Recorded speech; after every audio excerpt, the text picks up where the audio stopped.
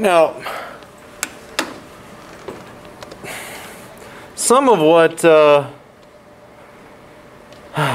some of what my job is as a professor isn't just to uh, it's not just to to teach you about science and engineering. Um, sometimes uh, it's important to discuss um, some very uh, touching issues that are really important in today's society.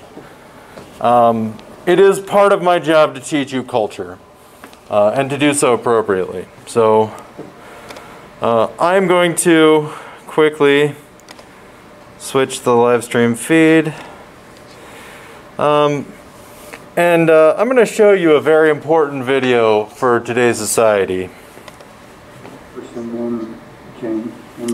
Okay? I promise I won't take up too much of your time here. My name is Andrew Christensen. Uh, I live at 1212 Twin Ridge Road. Lincoln has the opportunity to be a social leader in this country.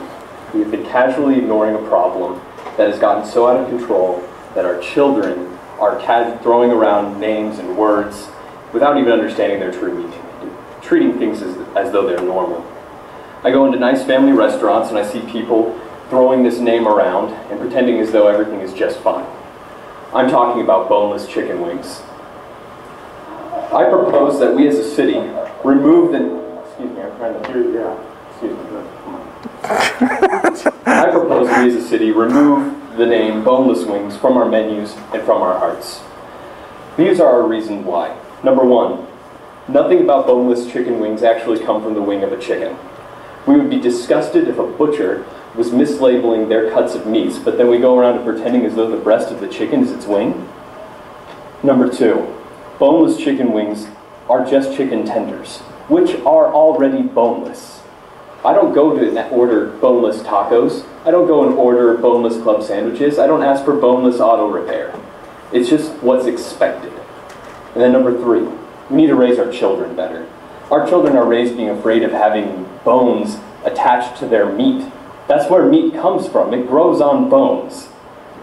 We need to teach them that the wing of a chicken is from a chicken, and it's delicious. I propose that we rename boneless wings in the city of Lincoln. We can call them buffalo-style chicken tenders. We can call them wet tenders. We can call them saucy nugs or trash. We can take these steps and show the country that where we stand, and that we understand that we've been living a lie for far too long, and we know it, because we feel it in our bones. Thank you. Hey, I, I would. Yeah. So this is a real video. Um, yes. Did anybody see this when it went viral last week? Yeah. Yeah, my nephew was all about this. Um, yeah, this uh, it's actually this guy's son. Um, and apparently decided that he needed to go entertain his dad at work. Um, of course, this also wasn't the last appearance of this guy either. So, problem is that uh, later showed up. Let me see if I can get the actual video. Oh, it's not here.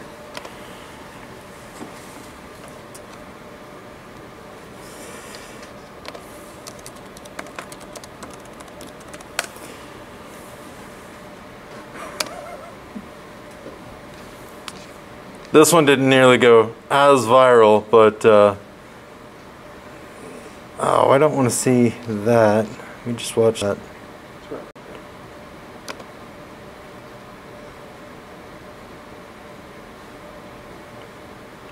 Here it is. Everybody, thank you for being here.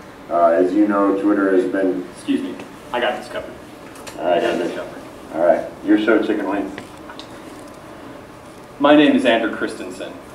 I like football because I love tailgates. They improve mental health, they stimulate the local economy, and they create lasting memories. But most importantly, tailgates mean wings. Just like a wing without a bone is just a saucy nug, a Saturday without Husker football is just a Saturday. I propose that one, we bring college football back to Lincoln. Two, we never tailgate with saucy nugs. And three, you stop calling me Carrot Top because the tops of carrots are green. So, uh, yeah. Clearly, this guy is just using his fame now to, uh, to just be humorous. Um, but uh, now that you understand uh, culture, Netflix. see the thing is, he's only got the he's got the three points down. Every time he stands up, it's three points. Um, but in any case, now that I have educated you on culture, um, you're welcome. Thank you. You. Definitely know that's it. You needed to know that. Um, all right, so let's get to a real conversation topic. I have lost so many brain cells that could have been used for education watching those videos. Um, Granted, they were funny. I'll have you know, there are a few things in life that are as educational as what I just showed you. We watch videos in this class because we can.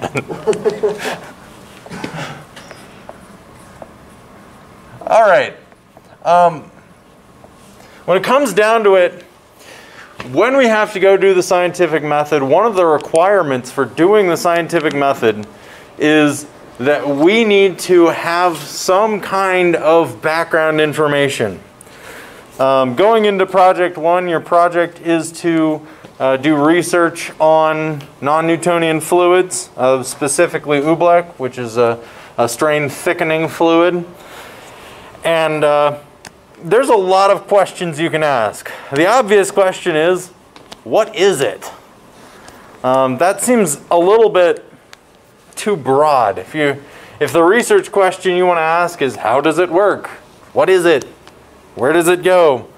Um, there are already people who have done research on that. There are already people who have asked those questions. There are already people who have published answers to that everywhere. So when it comes to getting information, we need to, and asking the question, um, the reason why when I presented the scientific method to you, I paired ask a question and do scientific research and background research is because they do kind of go hand in hand. Uh, anytime you go to do any kind of scientific research, you're not going to know everything. Uh, hopefully not, anyways. Otherwise, there's no reason to ask a question. Yeah. Um, you, you have to have some element of curiosity there. And there are already going to be tens, hundreds, thousands, potentially even millions of people who have already asked the question that you're asking right now. And for you to go in there and say, well, nobody else has ever asked this, I'm just going to jump in do research, is for you to say, I am going to do some study over something that everybody already knows. Why do tables stand upright? Why do people have cell phones? I'm going to do research over that. Or the two point some million dollar study that they put into why do coffee rings show up on cups?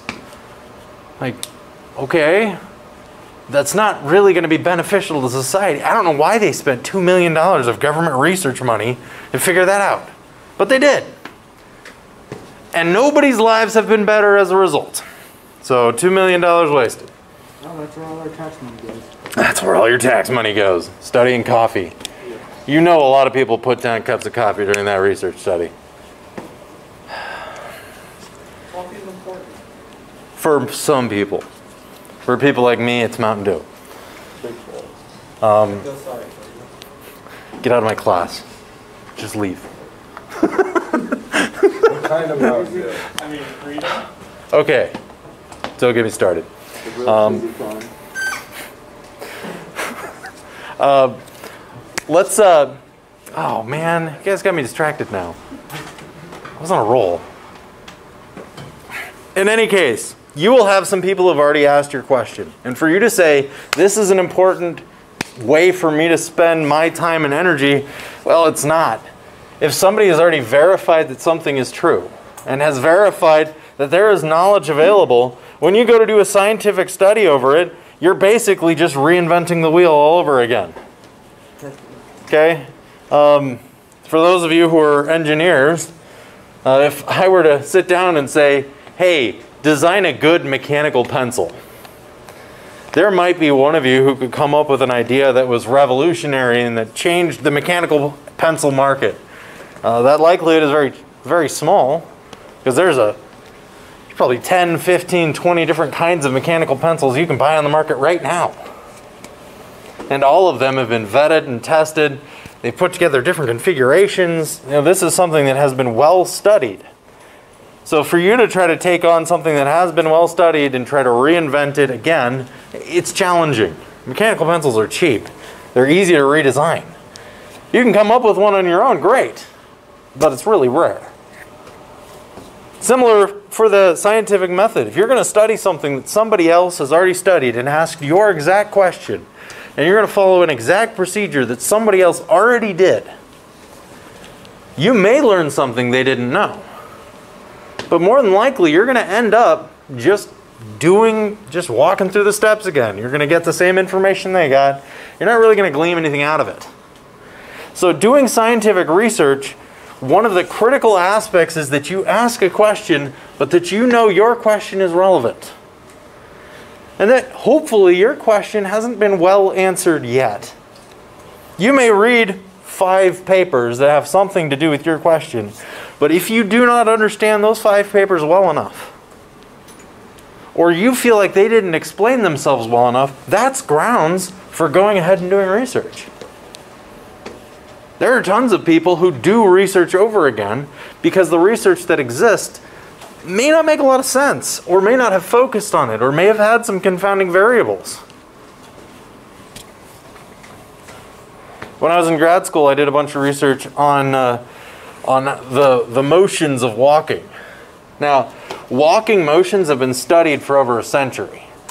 Uh, there are entire journals dedicated to just talking about walking.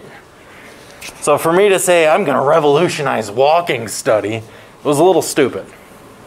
Now everybody has dreams that their science is going to be greater than everybody else's, but uh, my revolutionary style was that I decided to track certain mechanics and then try to model them mathematically. Uh, was it super revolutionary? Eh, probably not, but it did give a very interesting way for me to model walking. That's about it. Um, and what I, the research that I did was useful because it enabled me to come up with the foundations of a database. Uh, but that's about it. I spent a lot of work trying to recreate a wheel. And so what I ended up doing was I ended up going and finding other people's data sets because they already existed. And I ended up finding other people's research. And I ended up putting things together and coming to realize that most of the people doing research were focused on the wrong elements of it. And by doing so, by doing my background research, I adjusted my question and I was able to address a unique aspect of walking that hadn't really been studied very, very well before. In a good research project, you'll do something similar. It's not just the statement of, I'm going to throw a question out, and then I'm going to do some research, and then I'm going to continue doing that exact same question. You adjust your question to be more relevant, to use the information that you now know, and you come up with a better research question. You come up with a more specific research question. So, what we're going to be doing as the first part of this project, kind of the kickoff of this project, is I'm going to want you to find a partner to do your project with. Okay? You and one other person are going to be doing this Oobleck project. You got to find out who. I would exchange names, exchange email addresses, exchange numbers. Everybody needs to find a partner, and we're not going to continue until everybody has a partner. So, go ahead. Yep, go right now.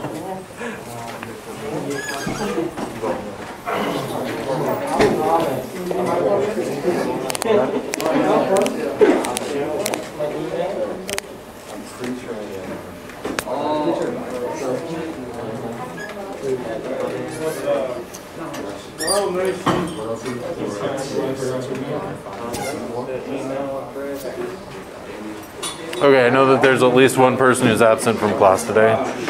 So, yes. And if if we can't find somebody, then I'll put you in a group with somebody else because we do have an odd number here today. So you will have a partner.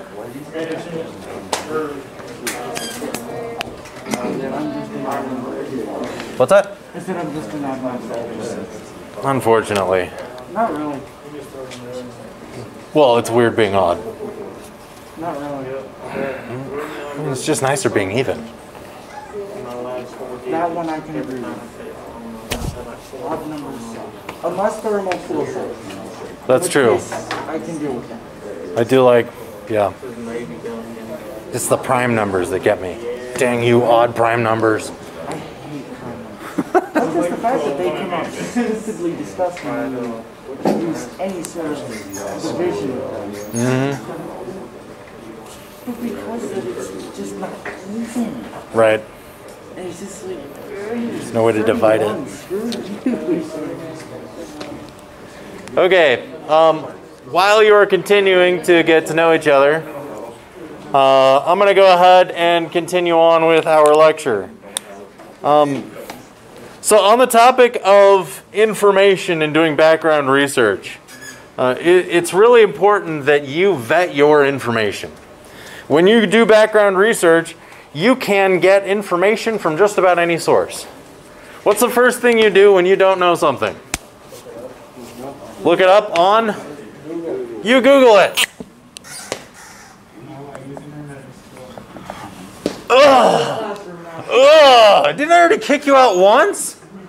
We don't use those. That's, that is disgusting words. That is not appropriate in this kind of setting. Ugh.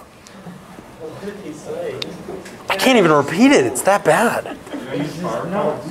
See, Firefox is fine. It's just that that IE word. Ugh. Okay, it's actually Microsoft Edge now. Is that better? No. Microsoft Edge is like what happened when somebody was like, "Hey, I have this piece of trash. I'm going to give it a new name and try to sell it."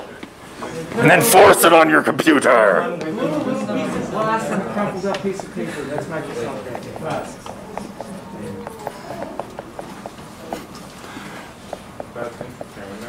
You know what? At least Microsoft Edge recommends videos to me as soon as I open the browser. That's creepy. It makes it easier to not be productive. You still said Internet Explorer. And then you made me say it. I'm going to have a bad afternoon because of that. The only thing ah. Internet Explorer is good for is for downloading Google. Yeah, it's true. Every time every time I, I open up Microsoft Edge and immediately download both Firefox and Chrome. Um, in any case, so let's say we're going to start on this project. You don't know anything about this. We're going to say, hey, I want to ask a question about, um, you know, I got a question about non-Newtonian fluids. Uh, I'm going to I'm to look up Oobleck. Okay, let's see. The first one is a, a Dr. Seuss science experiment. Um, it's okay. That looks. I mean, it's from Scientific American. There's there's some. Uh, oop, I better better show the live stream my video. Um, that's Scientific American. There's there's some knowledge there to be dropping. Uh, look, there's Wikipedia. I've heard that's a super awesome source. Um, here's uh, here's an imagination station Toledo.org. Um, how many of these sources are geared towards you, the intellectual? All. All of them. Every one of them is applicable. Only Wikipedia. Um, hold on, we could check out this book that's on the right side Bartholomew and the Oobleck. This is probably something you should cite in your research paper. Um, uh, at the end of the day, when it comes to when it comes to scientific sources, if you're looking for a good scientific question, um, just doing a quick Google search over Oobleck isn't really giving you the stuff that you need. Now let's let's go a step deeper. Let's say okay, um, let's say we read uh, we read this Scientific American article and we're like, oh, look, this, oh, sick. Oh. Ah. Yeah. We're going to have to use food coloring. Yeah. Um, in any case, uh, this then gives you a recipe for it, and then it slightly explains it, and then tells you how to clean up. Which I mean is nice. You're probably not going to find any scientific papers on cleaning up oobleck, but then again, I mean, whatever. Um, so maybe, maybe in all this research, you realize that this has been a big, big waste of your time. Um, you're going to look up non-Newtonian fluids. Okay, the first thing that pops up is Google Scholar. How many of you used, have used Google Scholar before? I've heard of it, but never got a chance to use it. Google Scholar is let's let's go down that rabbit hole. Okay. Ooh, agitation of non-Newtonian fluids, 1957 paper. Loving it. Let's do it. Okay. Uh, this is nice. I only get an abstract. And I, I can join, uh, I'm, uh, ooh, I can spend money. I'll, I'll pay 500 bucks and join AIChE. Sweet. No, you know what? I, I don't really want to spend the money and I have no other way of getting this paper. It won't even let me download it. Oh, wait, there's PDF.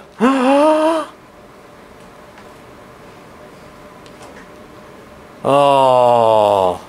All right, who wants to spend eight bucks? No. No, I'm good. Okay, so so that that that didn't quite work out. Let's go to the next one. Um, oh, 1982. This that's a pretty good year. It's delicious. Good year for science.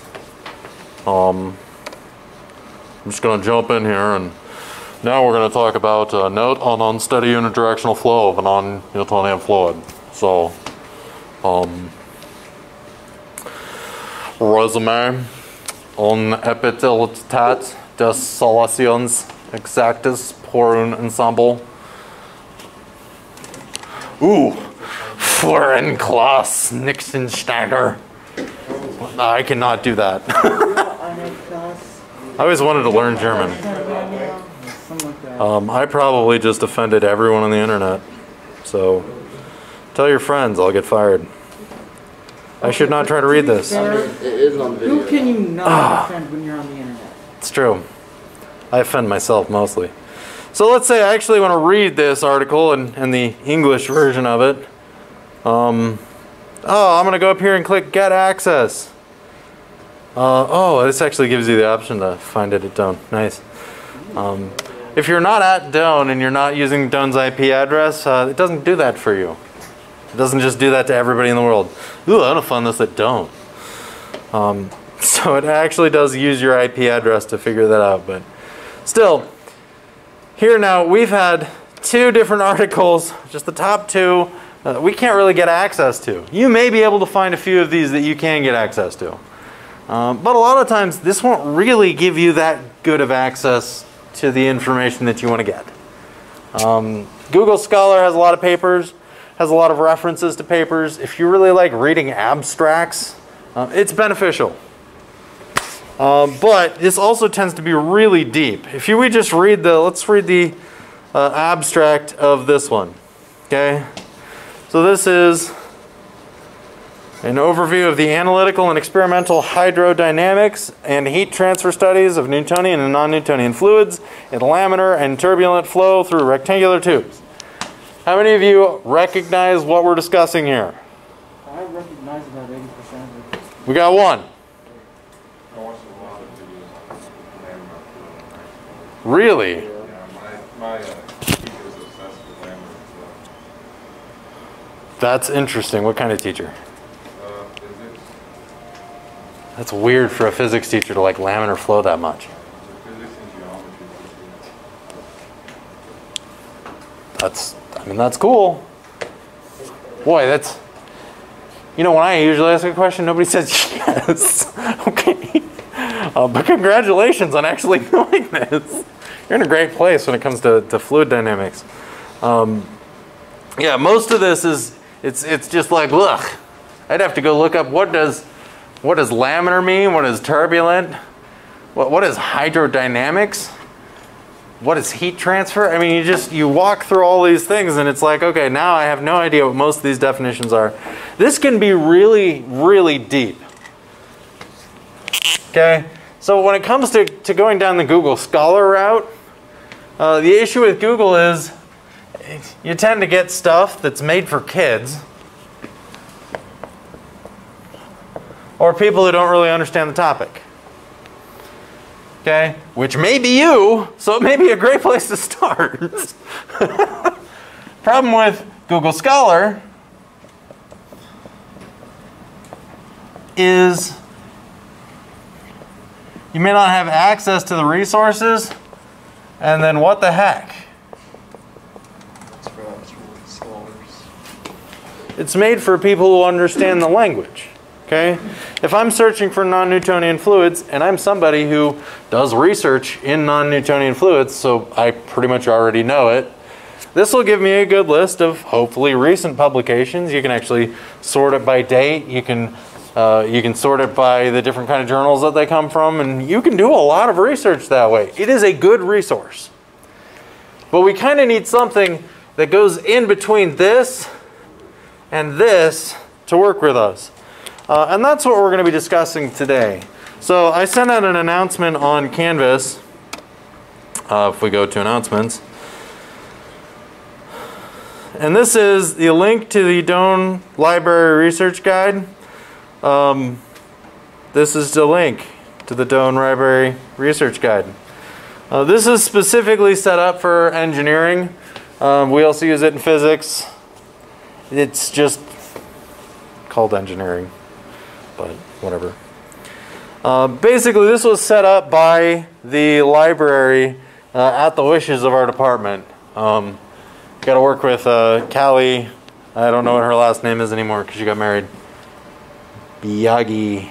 I'm not going to try to pronounce that. I've already offended too many people today. Um, but it was set up by her because she, uh, well, she and I and our department I really wanted to, to try to streamline this process.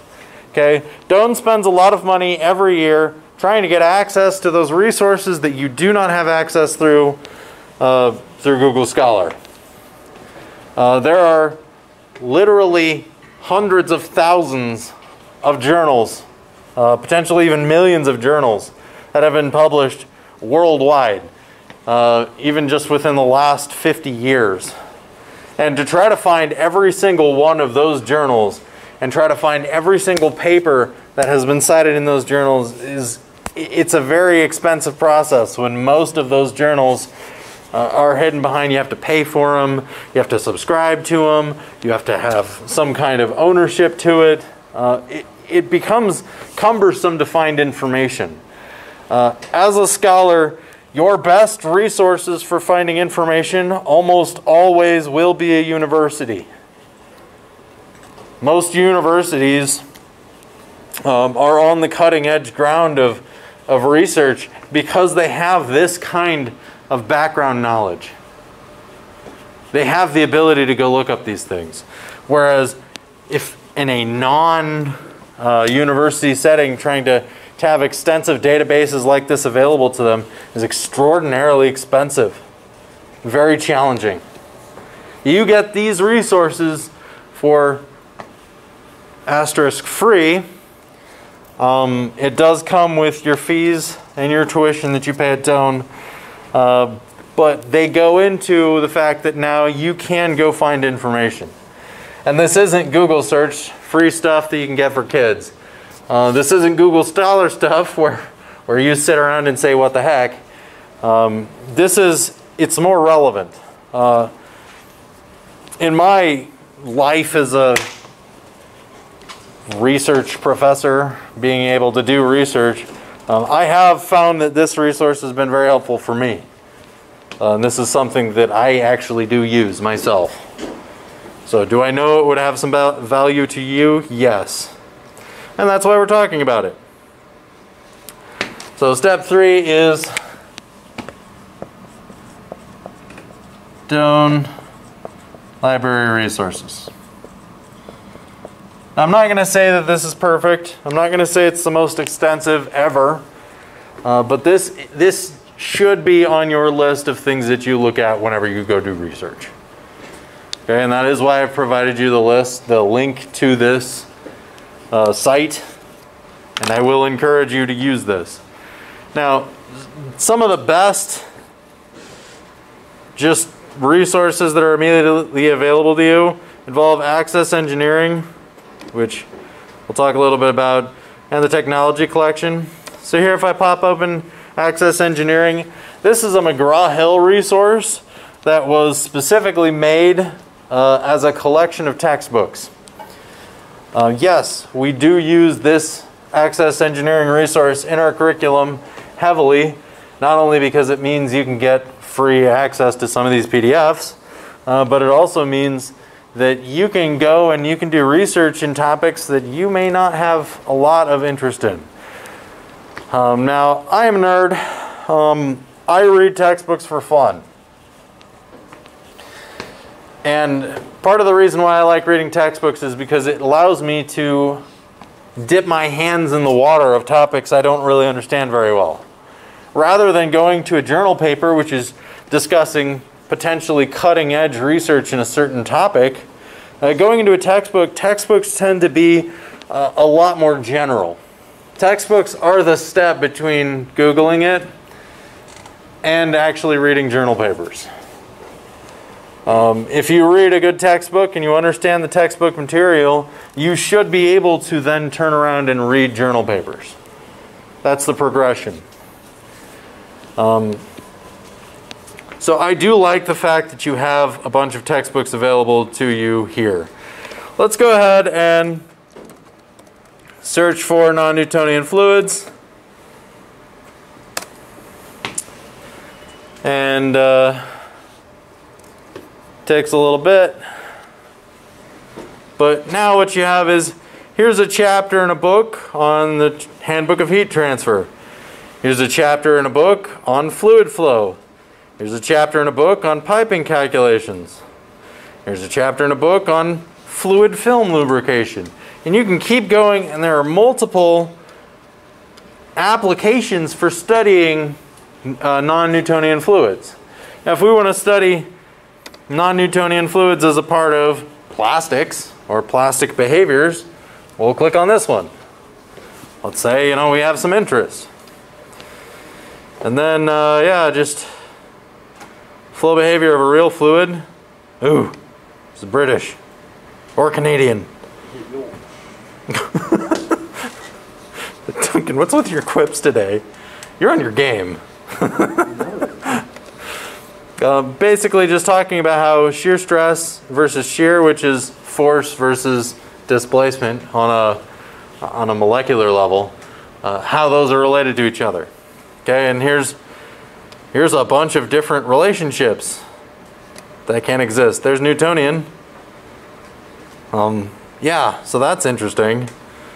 Now, if you really wanted to read through all of this, be my guest. This may be a little heavy, it probably is, but um, you could be doing as much studying as you want over polymer morphology.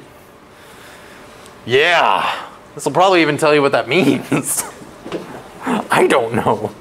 Uh, but I don't need to know because I can read the textbook and I'll figure it out. And if I can't figure it out, I'll go to an earlier chapter. But let's say instead of going for polymers, um, let's see if we can find a source that makes a little bit more sense. You know what? I'm going to go with fluid flow. Oh, I don't want to do that. Where's the other fluid flow one?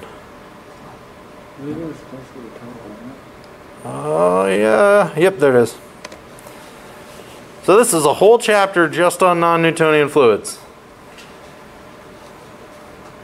It's on fluid flow. And this looks like it's using language that I can kind of understand. Look, it said the word pharmaceuticals. And cosmetics. Isn't this a class where I mentioned the colonoscopy? Yes. Yep, cosmetics. now we've gotten the true full spectrum. Um, here it goes into definitions. There is some math involved. Um, talking about shear stress, shear rate. You can read all through this. You really want to know a lot about non-Newtonian fluids. This would be an excellent resource. It would be extraordinarily comprehensive. This is very deep, yes, but you can still try. Um, when you take fluid transfer, this will probably make a lot more sense. Also, when you study mechanics materials, which will also make this make a lot more sense. Uh, but in any case, this is a resource that's available to you. Um, it's definitely not as heavy as Google Scholar, and it is definitely a step above just Googling it. If you were to cite a source like this in any professional paper, this is acceptable. Uh, now, that said, if you're publishing brand new research and you're using a textbook, sometimes that's often shunned because this isn't technical enough. A textbook is a summary of research that is being done or has been done. Now, oftentimes these textbooks will themselves have references, and if you basically just run down to wherever the references are, and you say, okay, I'm going to quote this reference that they used to cite that information that I cited from this source, this is acceptable. Those are all professional resources that you can use. So, when it comes down to it, why is this kind of a source acceptable? And if I go back and I say, okay, um, let's see, I did, uh, uh, uh, here's Steve Spangler Science. Why is why is that resource so not is okay in a scientific paper, but I can't quote Steve Spangler Science? Ooh, Magic Tree five pack. No way. Glitter bug lotion. Yes. So why can't I use this as a resource? This has useful information. I can scroll down here to the bottom and oh, it just looks like snot. I can look down here at the bottom and it and I mean it uses a very professional word here. See it's got gooiness right there. Okay. So um, why is why is this not the best resource to use in a scientific paper? Whereas if I go over here to the textbook, um, rheological equations from molecular network theories from transactions of soak real. Which I'd have to look up that journal because I don't know what that is. Um, here's the American Society of Chemical Engineers, Chemical Engineering Journal. Um, why, are, why are these sources okay, but Steve Spangler Science is not? I'm gonna go with him. They probably say viscosity instead of gooiness. I don't know. Gooiness is pretty technical. yeah. Probably because the Steve Spangler Science website actually had a cart for buying stuff. That's a point that I made in this morning's class. What is the purpose of this site? It is to sell you things, okay? If Steve Spangler wanted to tell you that Oobleck is the key to happiness, Steve Spangler can. Nobody's going to stop Steve Spangler.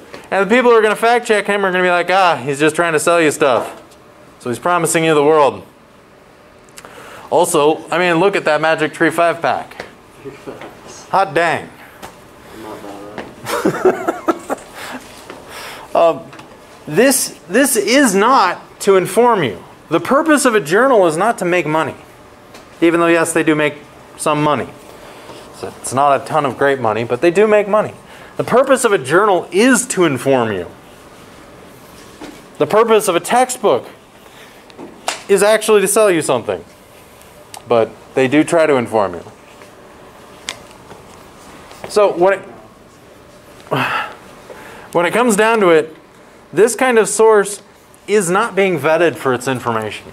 its information exists It's kind of a secondary clause. Now, this does have good information. I've read through the bottom of this. Steve Spangler's done some work, even though he does use the word gooiness. He does mention non Newtonian fluid. He talks about viscosity changes. He talks about releasing pressure and its pressures in fluids. Um, he then provides some, well, links to things you can buy, uh, which that, that devolves quickly. Um, anyways, but this, it's, there is some useful information here. And if I wanted a free check and just, just quick Google it, look through this, read through this, buy stuff, play with it myself, eat it, I don't know. Um, I put things in my mouth. Uh, it is. It's just also, it feels like something you would never want to put in your mouth.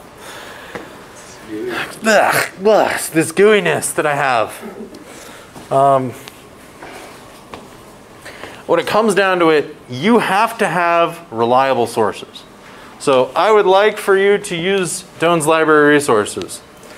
Uh, let's go back and check out some of the other resources. Oh, we also talked about the technology collection here. Um, technology and science are fundamentally interlinked. That's something we're going to discuss when we get closer to engineering. Um, but most of our science has been done to advance technology. Uh, and a lot of people who develop technology simultaneously develop science. The touch capacitive screens that are on cell phones were originally designed to make money for Apple. And they did. But they also taught us a lot about touch capacitive systems, which are important. So just because it was a technological development doesn't mean it wasn't also engineering. Similarly, just because it was engineering doesn't mean it wasn't a technological scientific development. Okay, so this does have some information. I'm not as familiar with this one, but you can look through it. I don't have time to go through it anymore. Um, so this is just the front page, has some quick links. This also does have Google Scholar and Google Patents. Um, every once in a while, if you really wanted to know more about non-Newtonian fluids, you could search for patents that have been used with non-Newtonian fluids. You could find applications of how it's been used in technology that way, which is beneficial. Okay. Um, other handbooks and encyclopedias. Uh, again, it just references this. Um, sometimes, if you need to go in and you need a refresher on a certain topic, uh, you can look this up. This is kind of like a dictionary for terms. Um, you want to learn about airplanes? Uh, that's great.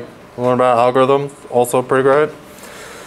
Uh, you can just look up some terms if you're having difficulty with definitions. That's another resource. Uh, here's some resources that are specific to different disciplines of engineering. Um, that's just more engineering stuff. But, um, standards, technical reports, and patents. Um, those aren't things that we're going to be getting into in this class as much. Um, a standard is is basically a law for, or it's basically a regulation on uh, how a process is done, how a piece of technology is made, uh, that kind of a thing. We're not really going to get into that in this class. That's that's a bit heavy. Um, some books and journals are available. Uh, here you can search the Doane catalog. You can search through the different journal databases. These are the three that are recommended for you. Uh, most of everything you need to know you could find in these three collections. Uh, if you start looking through those three collections, that'd be great. Um, you can also watch this informative video on how to do how to search in a database. So that's fun. Other web resources that are available. Um, is there different associations and societies that are relevant? Uh, and then we've got, apparently there are also videos. Which I don't watch videos. I never do. We don't watch videos. It's gross. Oh, no, absolutely not. No, this is a completely professional. no. Entirely educational. Uh, lastly, this tab on writing and citing. We are going to get to know this in a couple weeks. Uh, I think actually maybe, yeah, two weeks from now. So, all right, let's talk about your assignment. So if I go back to here, The assignment that I posted on Canvas is you have a research question. And your research question, I don't actually know how this looks for you. I only know the my side of it. Your research question is you got to post a research question.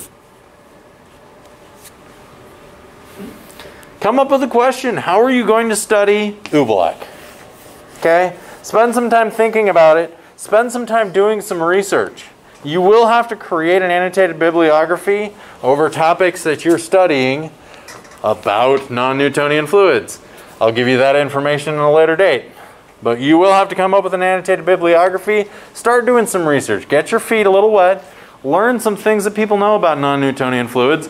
And try to figure out a question that you think would really help you out if you, you know, this would be a really interesting thing to study uh, when we go to do our experiment.